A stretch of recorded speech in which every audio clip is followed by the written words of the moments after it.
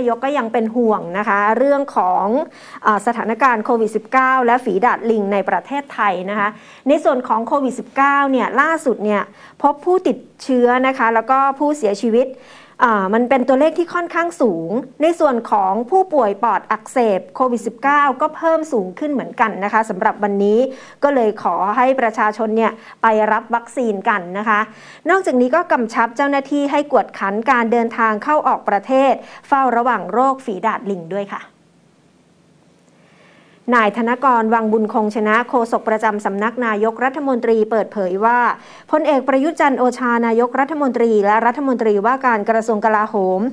รับทราบถึงรายงานสถานการณ์โควิด -19 นะคะ พบยอดผู้เสียชีวิตนะคะ วันนี้เนี่ยอยู่ที่ 34 ราย แล้วก็มีตัวเลขของผู้ป่วยปอดอักเสบด้วยวันนี้ตัวเลขนั้นสูงนะคะอยู่ที่ 911 ราย ในช่วง 3 วันที่ผ่านมานะคะ ตัวเลขนั้นมันขยับขึ้นเรื่อยๆ ค่ะ จนมาอยู่ที่ตัวเลขณวันนี้แหละ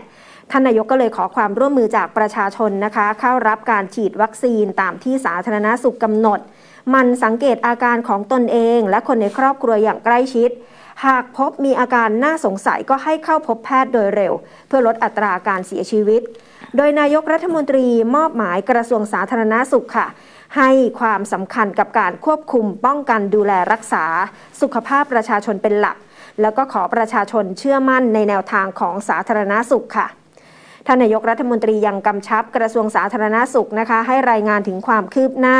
ผลกรณีโรคฝีดาดลิงที่ภูเก็ต เพื่อสร้างความมั่นใจให้กับประเทศและประชาชน พร้อมกับฝากเจ้าหน้าที่นะคะ ที่เฝ้าระวังกวดขันเข้มงวดการเดินทางเข้าออกประเทศในทุกช่องทาง แล้วก็ขอให้ประชาชนติดตามข่าวสารจากสาธารณสุข เพื่อความเข้าใจที่ตรงกันด้วยค่ะ